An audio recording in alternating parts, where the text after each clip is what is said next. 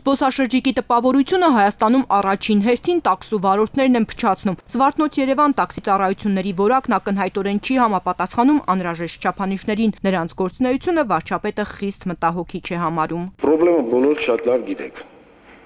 Անթրաշ, չստիկով,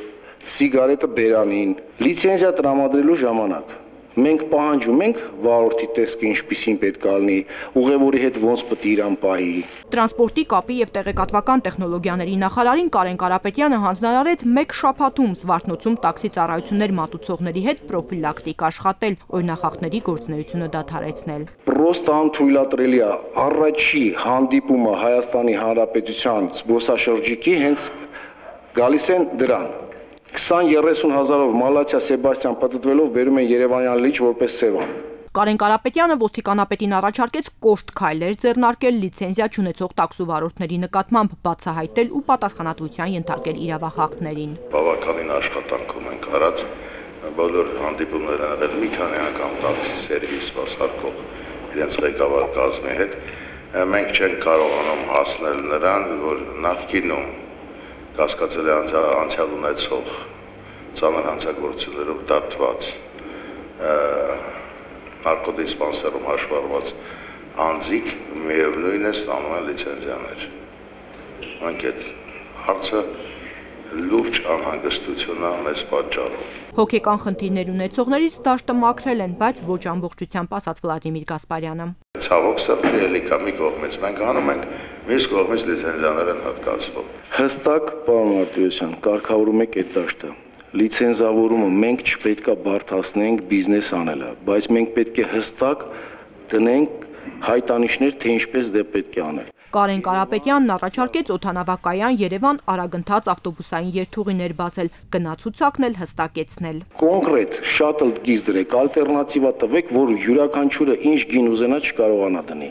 Համապատասխան գնացուցակներ դրեք օրենտիրային։ Թվայնացված միասնական համակարգը կբարձրացնի կառավարման արդյունավետությունը։ Կառավարության աշխատակազմի ղեկավարին վարչապետը հանձնարարեց երկու շաբաթում արված աշխատանքն ամփոփել ու թվայնացման հստակ ժամանակացույց ներկայացնել։ Մենք պետք է ունենանք թվային քարտեզ։ Խոսքը ինչի մասին է։ Մենք բոլոր մեր կառավարման սուբյեկտները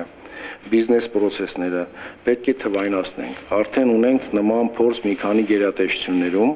եւ ունենք դրա դիմաց էֆեկտները։ Թվայնացումը ցայտուն ցույց կտա, թե որտեղ ով է թերացել։ Մեկ օր առաջ պետք է անցնել այդ համակարգին, շարունակեց Կարեն Կարապետյանը։ Դպրոցները, մանկապարտեզները, ես տենց ոլորտ չգիտեմ, որտեղ թվայնացման անհրաժեշտություն չունենք մենք։ Որոշ մարզերում սպանդանոցներ չկան, մի մասում էլ եղածները բավարար չեն։ Երկու ամսում պատասխանատու գերատեսչությունները պետք է կառավարության աշխատակազմ ներկայացնեն նոր սպանդանոցների ստեղծման եւ դրանց ֆինանսավորման աղբյուրները։ Սեզոնային մրգերի արտահանման գործընթացն էլ պետք է պարզեցնել։ Ուսումնասիրությունները ցույց են տվել, որ մաքսազերծման, բաց թողնման գործը որոշ դեպքերում դեռևս ժամանակատար է։ Վարչարարությունն էլ ոչ արդյունավետ։ Մտահոգիչ է նաև այն հանգամանքը, որ տնտեսվարողների համար ամբողջությամբ չի կիրառվում մեկ պատուհանի սկզբունքը։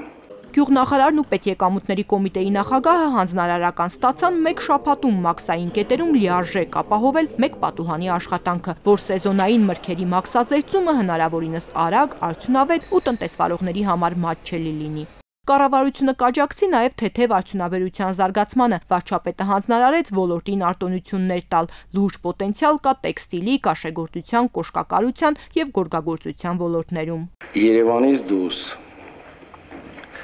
արտոնությունը պետք է լինի ավելի շատ, որpիսի տրամադրենք դեպի շրջաններ գնալը 1։ Աշխատատեղ ստեղծելը պետք է խրախուսվի 2։ Երրորդը, սուբսիդավորման վերաբերյալ մենք հստակ մեխանիզմներ պետք է ունենանք եւ ինչպես խոսել ենք նաև հարկերի մասին։ Բոլոր այս նշված բաների վերաբերյալ սպասում եմ ձեր կոնկրետ թղթի վրա առաջարկին։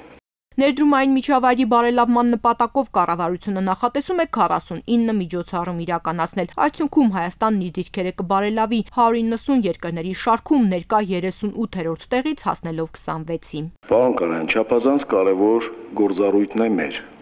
Եթե մենք այդ միջավայրը կանոնակարգում ենք տնտեսական աճը նպաստելուն մեր ջանքերը եւ այլն շատ ավելի հասցեական կլինեն։ Ամբողջ կայքում ձեր տպում եք. Ռեգուլյար բիզնես միջավայրի հետ, գյուղատնտեսության, գործարարների հետ շփվում եք։